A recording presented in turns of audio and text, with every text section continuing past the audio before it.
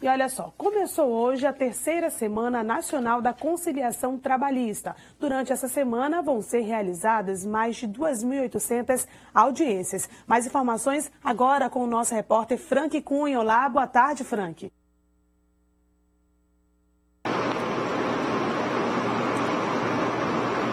Olá, Sigrid, boa tarde a você e a todos que acompanham o 10 na TV nessa segunda-feira.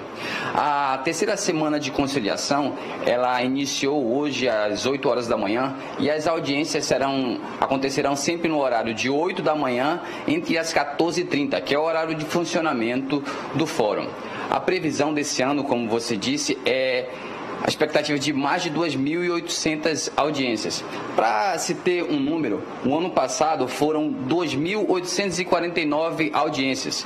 Isso resultou em 910 acordos e um retorno de 10 milhões de reais em indenizações pagas das empresas aos funcionários que entraram na justiça.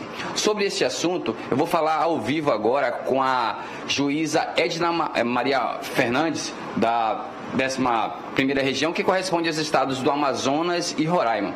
Boa tarde, seja bem-vindo ao, ao 10 na TV. É, são vários magistrados envolvidos e a expectativa para a terceira de semana de conciliação desse ano. Boa tarde. A nossa é, é, perspectiva é que alcancemos a mesma meta ou mesmo ultrapasse a meta do ano passado, conforme os números que você acabou de informar. Ah, o nosso slogan este ano é para que esperar se você pode conciliar, né? demonstrando, mostrando para os jurisdicionados, empregados e empregadores as etapas de um processo, né? que o processo ele pode ser rápido, célere, se você faz um acordo. Se você não fizer o acordo, significa que você vai passar por várias etapas, tais como vários recursos, e o processo demora um pouco mais.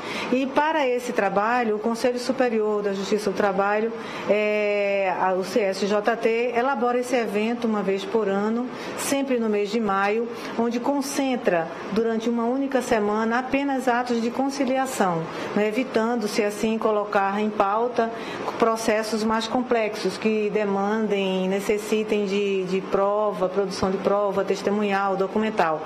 Nessas demandas que tentamos colocar na pauta esta semana, é, elas envolvem então somente direitos básicos, pagamento de salário atrasado, verbas rescisórias, assim como empreendidos aviso prévio, hora extra, FGTS.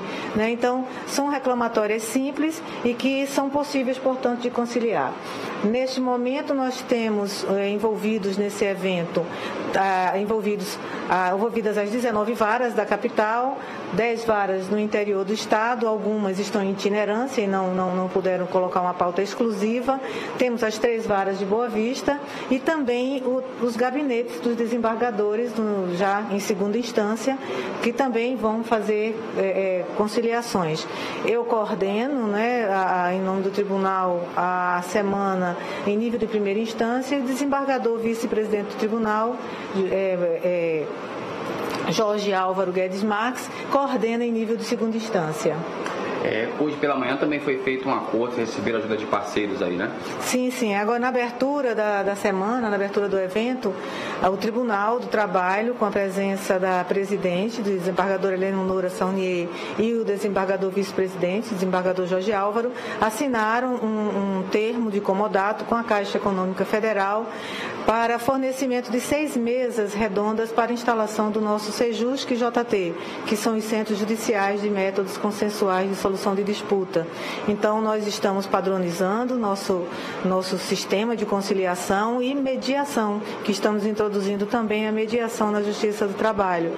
Então, essas mesas vêm compor nosso espaço físico, onde, diferente do que praticamos agora, que temos salas de conciliação com o magistrado em cada vara, nós teremos uma sala única só com conciliadores e um único juiz supervisionando essas conciliações.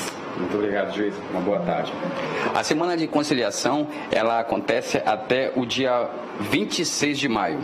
Além do estado de Boa Vista, que faz parte da 11ª região, a é, Manaus tem a semana de conciliação, os municípios de Tefé, Eriunepé, Parintins e Humaitá.